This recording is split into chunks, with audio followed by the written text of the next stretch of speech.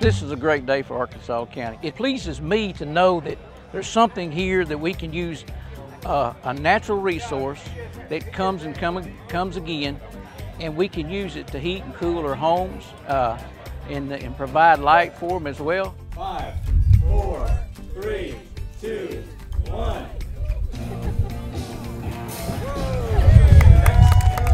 Southeast of Little Rock in the town it's named for, NextEra Energy Resources Stuttgart Solar Energy Center officially began providing power to Entergy Arkansas's customers.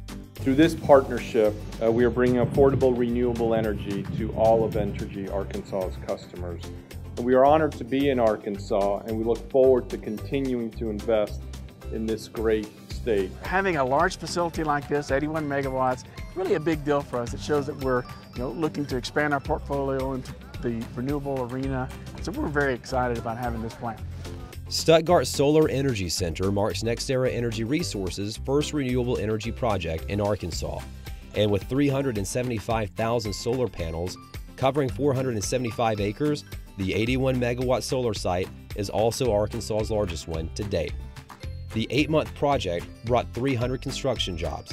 Now, the solar project is expected to provide nearly $8 million in tax revenue over its operational life to Arkansas County. You're talking about millions and millions of dollars coming into our community, so it's definitely big for our community. Arkansas Governor Asa Hutchinson says the investment in renewable resources also attracts international business.